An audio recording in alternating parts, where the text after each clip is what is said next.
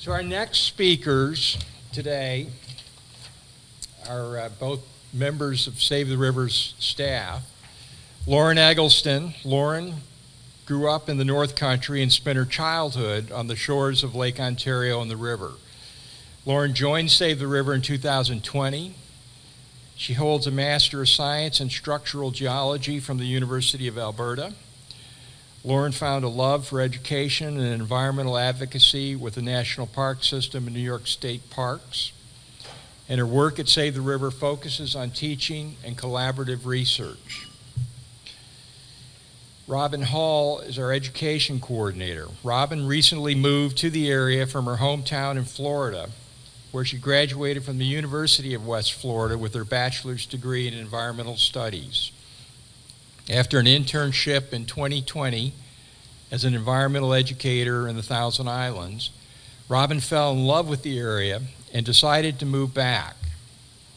Through the National Park Service, New York State Parks, and activist groups, she found a passion for environmental education. In her spare time, Robin enjoys any activities that involve the outdoors and loves a good book. So Lauren and Robin, I'll turn it over to you.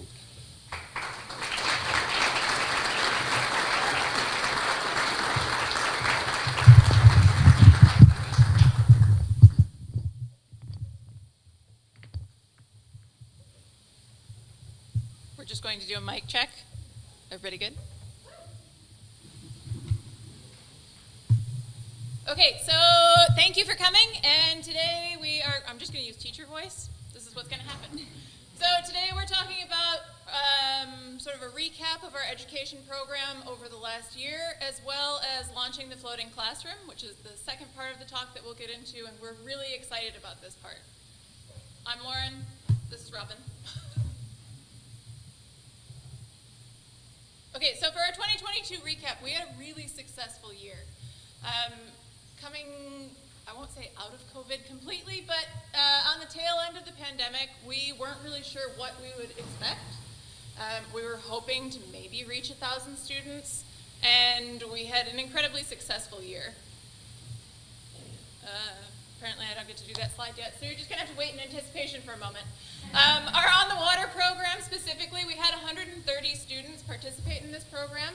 Most of them had never been out on the water before. Uh, they ranged from kindergarteners through high school students. And the tours that we took them on focused largely on getting them out on the water and out on the river. And then we went to the Rock Island Lighthouse, which is a state park and a site that most of them hadn't seen before. Students learned about all sorts of things. Uh, if you were a kindergartner, you focused more on landmarks and how to find yourself on the river. If you were an older student, like a middle school student, you might focus on water quality, how to run basic water quality tests. And then across the board, everybody learned about freshwater mussels. So that was from kindergarteners all the way through our high school students, and even a couple of college students learned about freshwater mussels. All right, so for in the classroom, we educated about 475 students alone, um, aside from on the water. So um, K through 12 focused on class, sorry, on common tern migration, stream water quality, and macroinvertebrates. Don't mind me learning how to use a mouse. Okay, so in hopes to um, reach even more kids this year, we developed an educator guides um, about last month. So it is going to focus on spring programs as all of our in the classroom programs, including new curriculum that we're launching. You can learn more about it out on our education table. We do have pamphlets um, that you can take with you as well. Um, it has on the water programs and our new program that we're going to be talking about today. Finally get to do this slide. Okay, so by the numbers. The total number of students that we reached through um, going out to partner events from in the classroom and on the water is 2,323 students. So that was a phenomenal turnout. We were really excited about it. We also closed out the DEC Invasive Species Grant. That was a three-year program in partnership with the St. Regis Mohawk Tribe and the New York State Museum. Um, that was really where the freshwater mussels education came into play. We closed out the Fresh Sound Foundation. The photo of the kids measuring numbers on the by the numbers slide. That's what that one was from. That was for uh, trash cleanup. Through trainings for educators, we reached about 45 uh, teachers. And then through our Junior Riverkeeper and Riverkeeper programs, we um, empowered about 157 people to get out and be our eyes and ears out on the water. Most of those were junior riverkeepers. There's about 40 adults. All right, so what's next for our education program? So we have several events already planned and more on the way. So far, um, our in the class programs will start in March and go through April. Then we'll go into our on the water programming that will take place in May and June. We're focused on Mac Nature Center in um, Wellesley Island State Park.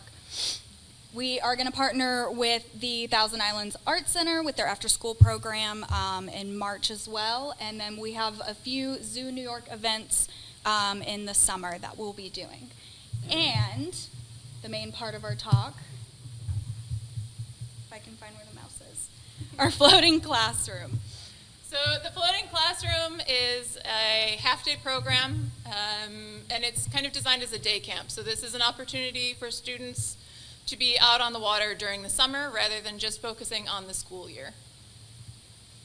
Uh, we have a couple goals through the program. Uh, we want to expose them to, did this slide before, um, we want to expose them to educational experiences out on the St. Lawrence River.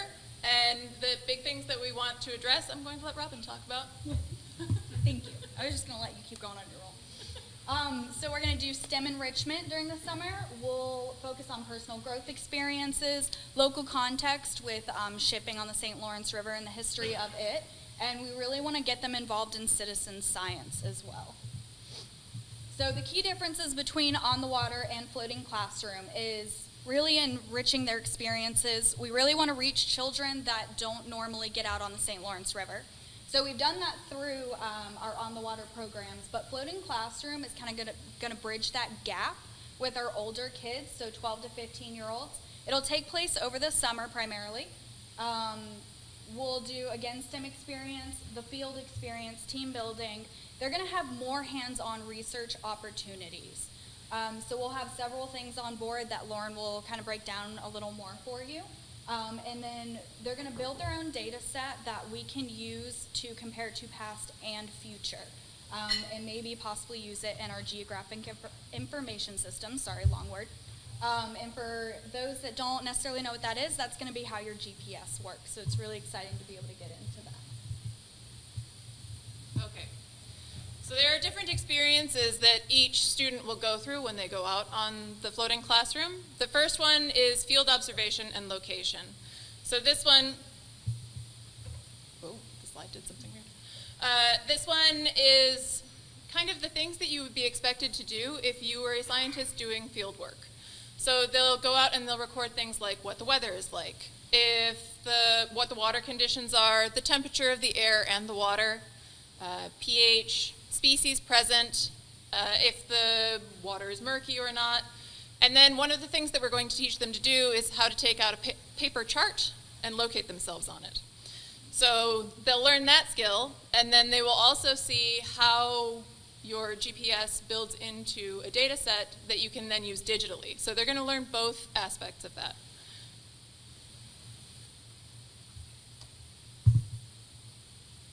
All right, so one of our experiences will be a Secchi disc study. So this is going to be used for water quality testing. Um, in this picture, if you can see it, it is a disc as it's properly named. So the students will drop this disc down into the water, and that depth of disappearance is going to measure our transparency and turbidity of the water.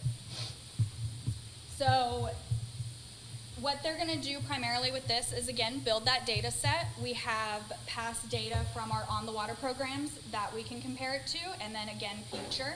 Um, we hope to really use this to compare trends of water quality throughout um, our river, so that we can keep track of that and you know keep educating the kids with it. The next bit that we're going to do, so again, they're going to experience all of these. The next one is a plankton survey. So for this, we're going to do two different ones. We're going to have them do a horizontal tow and then also a vertical tow. And then they can compare and contrast between the two. They'll identify the species that they find. Uh, we'll have microscopes on board, so they'll be able to put them right on the slides and check it out. And then one of the things that we're really trying to drive home is that invasive species are present on all different scales. So you might find them on the plankton scale, you might find them in plants, you might find them in mammals. It's just making sure that they see that that's not limited to the things that you can see, it's also sometimes microscopic. All right, she stole my thunder with the aquatic invasive part. So another one will be the aquatic plant survey. So it's conducted by a weighted rake toss. So the kids, um, this will actually take place on land off of the dock. So it'll happen at the end of our. Yes, thank you, our tour. So when we come back in, they'll go on the dock. They're going to toss this rake in. They'll haul it back in. And the plants that they bring in, they're going to sit down and they're going to identify them. So the main focus will be on invasive plant species. So this way we can track in certain areas whether the invasives are increasing or hopefully decreasing. And again, it helps the kids realize that invasive species take place outside of just the animal kingdom. And a lot of invasive plants can look similar to native ones, so it gives them that opportunity to tell the differences with it. And again, gives us our trend to keep tracking that. I will also say that these are local kids. We're hoping to hit local kids, and we are also hoping that they will eventually become WISP stewards. So we're trying to make that flow work. Okay, so one of the other experiences is to sort of zoom in on shipping on the St. Lawrence. And, oh, you have a clicker. Can you point it out on there? So this is a photo by Andy Kane that actually has the, the AE Vickery in it. You can't see it too clearly, but it's down there, kind of by his signature.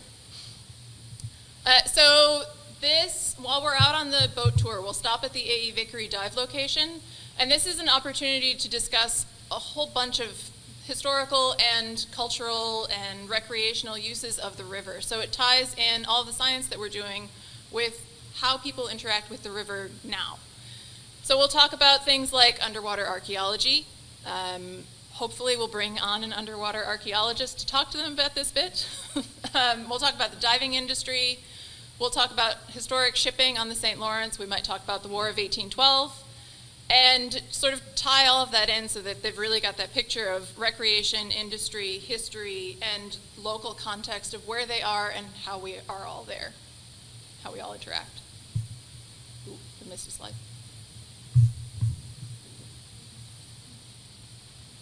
Right, so our tentative schedule, right now we have four dates planned. The idea is to get about 15 students per trip out. Um, four dates planned is kind of dependent on the budget. We might have to cut it down to three.